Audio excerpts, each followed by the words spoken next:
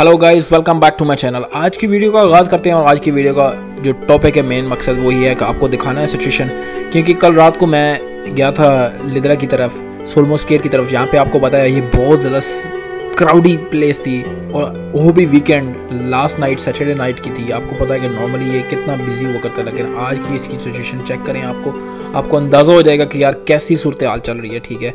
रात एक बजे का टाइम था तो मैंने कुछ तस्वीरें वगैरह ली थी। तो मैंने आपके साथ शेयर करना लाजमी समझिए ताकि आपको दिखा सकूँ, आपको बता सकूँ कि ये कंडीशन चल रही है। नॉर्मली आप बहुत सी वीडियो देख सकते हैं यूट्यूब पे बड़ी हुई है इस प्लेस की सोलमोस केयर की या लिद्रा की। जिसमें लोगों की रश लगी होती है वीकेंड वगैरह पे। इस चीज़ को एक्सेप्ट करना इतना आसान नहीं है। मैं रात को जब पहुँचा, वहाँ पे तो मुझे डर लग रहा था इस जगह से, जहाँ पे बंदा 24 फोर आवर किसी टाइम भी गुजरता था, डरता नहीं था, क्योंकि यहाँ पे हर टाइम कोई ना कोई बंदे होते थे, रश लगी रहती थी लेकिन कल रात को मुझे कोई ऐसा बंदा नज़र नहीं आया। सिर्फ़ सिर्फ़ फ़ोटोज़ और वीडियोज़ इसलिए लिए ताकि आपको दिखा सकूँ। ये भी एक मंजर है, एक मेमोरी बन जाएगी।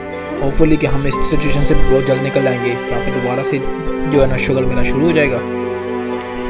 मिलते हैं नई वीडियो में नई इन्फॉर्मेशन के साथ। मुझे ज़्यादा दीजिए। Thank you very much